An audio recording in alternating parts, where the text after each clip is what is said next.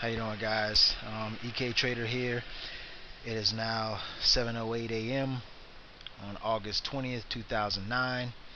Uh, just wanted to show you guys what I'm doing today. Uh, what we have here is the Russell 2000 Index Mini Size Futures on an hourly time frame.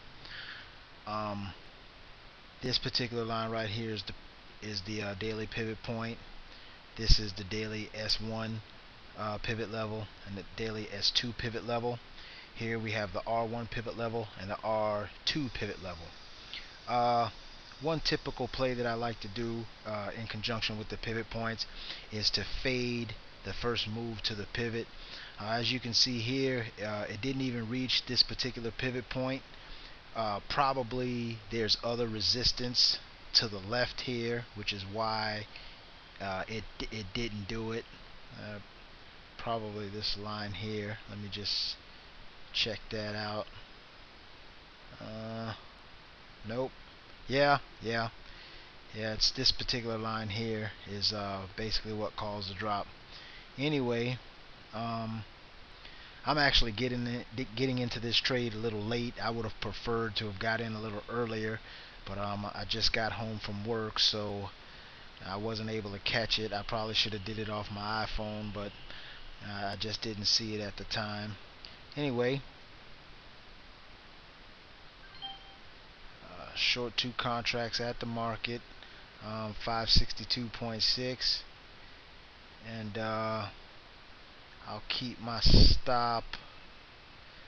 I'm gonna keep a relatively tight stop on this one because I've already let it go down too far. So just so you know, I'm going to put my stop here at 565 but actually that's not really the proper stop placement.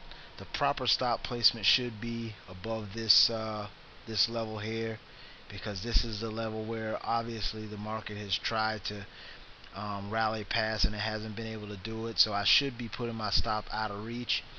But um in this particular case I'm probably gonna put it right here at 565 uh, and that's it.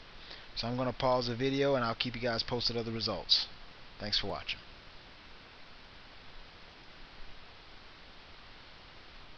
And went down.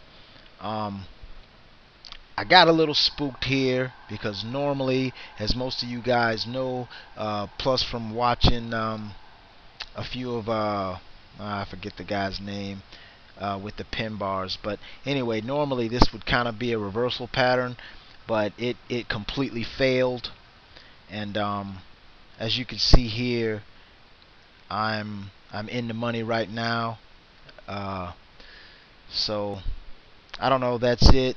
Just wanted to show you guys that uh, how I play uh, these opening uh, pivot point type of moves and uh, you know I hope you guys were able to learn something from it.